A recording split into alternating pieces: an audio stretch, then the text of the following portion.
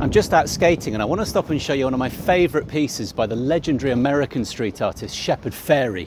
Now, Shepard painted this piece back in 2019 to mark the 30 year anniversary of the Obey movement that he famously created in 1989 as an experiment in what he called phenomenology, which is basically the idea of seeing how far a seemingly random image, in this case a sticker design based on the face of the US wrestler Andre the Giant, could spread on its own. And to use today's language, the whole thing went viral way before social media or even the internet. So it was, in a sense, an incredibly successful piece of old school guerrilla marketing. And given that Shepard's work is often political in its roots, it's perhaps no surprise that he cut his teeth at the Rhode Island School of Design, which has a really interesting political history of its own. It was founded on the principle of making art and design education more accessible to women. And in 2020, it took a really vocal stand in support of the Black Lives Matter movement. I'd love you to come and check this piece out. It's on Hanbury Street on the side of the Truman Brewery. And if any of your mates want to come and see it too, please tag them in the comments. We can all share the love. See ya.